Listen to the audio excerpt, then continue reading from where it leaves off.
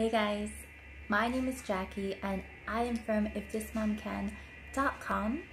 Today I will be sharing with you five tips that you need to know about Etsy keywords. So keep watching. If this video was helpful for you, please like and subscribe.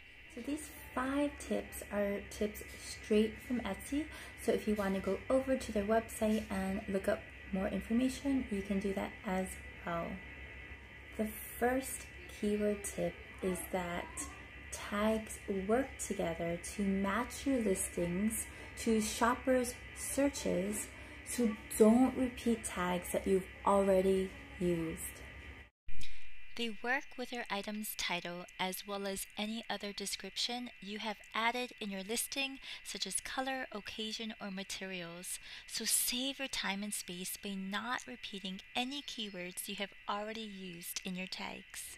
The second keyword tip is to think of regional phrases, spellings, or synonyms to add to your tags.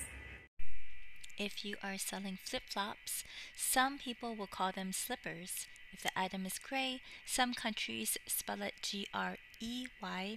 Think of other synonyms you can add in your tags. For example, if your product is a dark pink bag, you can use the tag rose color tote.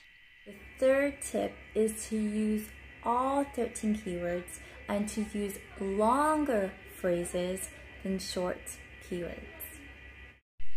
Etsy allows 13 phrases up to 20 characters long. Make the most of it.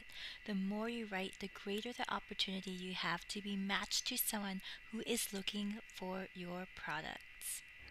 Number four, redo tags with low views.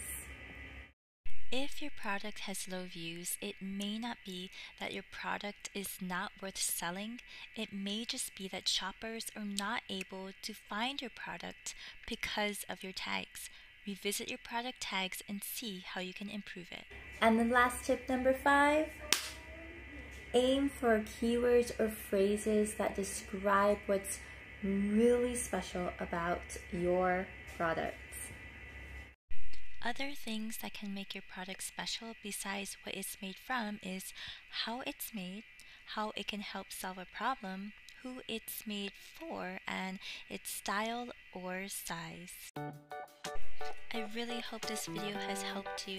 Thank you so much for watching and I hope to see you again soon. Bye!